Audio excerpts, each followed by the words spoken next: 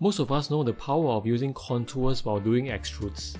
Contours allow for easy selection of sketch regions without the need to trim sketch entities and losing relations in the process.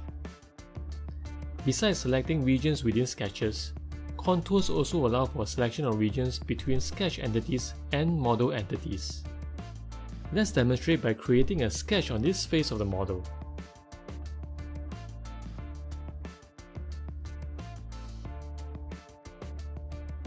If I choose to extrude and activate the contour selection option,